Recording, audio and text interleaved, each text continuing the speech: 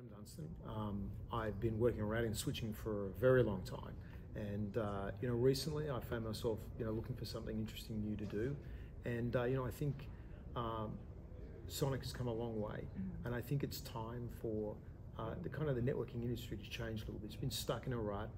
Traditional vendor solutions have, you know, kind of turned over and over. There's been new versions of them, but the fundamental way that we do things hasn't really changed. I think SONiC presents a great opportunity for the way we do things to fundamentally change. Mm-hmm. The potential, well, the potential here is that, you know, a great example is I'm, I'm working with some guys and it's an early project and I'm not sure whether it'll ever come to fruition, but what they asked me to help them with is a new, a whole new network protocol. I mean, and so this is not TCP, not UDP. It's not using routing protocols. It's a whole new networking protocol for a very unique application.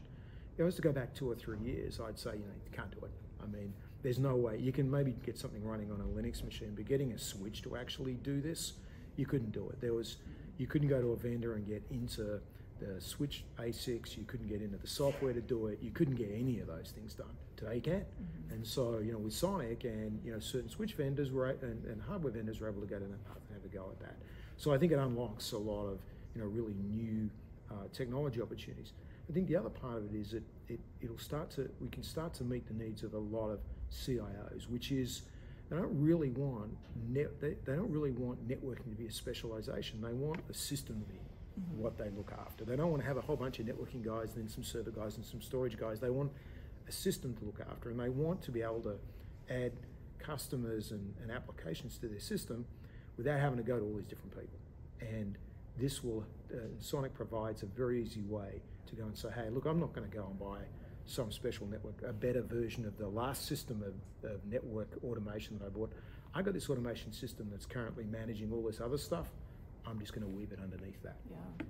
So that's a near-term opportunity. I think there's mm-hmm. some other great longer-term opportunities. So, so as a, as a, customer, you look at it and go, you know, what what do I need that I can't get today, mm-hmm. right? And I think there's really two very interesting areas around around this. You know, one is networking has uh, has operated in a very particular way. There's been a lot of work around how do I install new switches, how do I install new routers.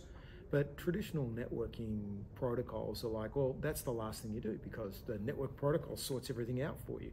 But that reality hasn't existed for a very long time. If you're working inside a service provider and you have MPLS VPN customers, the routing protocol doesn't turn them on automatically. There's a provisioning, what they used to call a provisioning event associated with that. And that provisioning event was a long, it was a long duration to get it to come up. I mean, two, three weeks worth of time when in, in theory, this is just another programmatic event. And, and I think a part of that was that the technology that was used to do these provisioning events was not especially advanced. But then you go look at the other end of this where um, cloud providers have adopted this technology, taken developers, not necessarily networking people, and said, let me go build something that suits my needs here. And, and every time I make a VPC, I, I talk to a switch, and it happens immediately. No one ever knows that it happened. And so I think what SONiC can do is take us out of this kind of networking rut that we've been in for a long time where the routing protocol does it all magically. I really got to just install these things. And then this provisioning activation event, some other thing altogether, and happens on a very long life cycle. I think we can get out of that. And I think we'll get significant moves, moves forward in networking technology.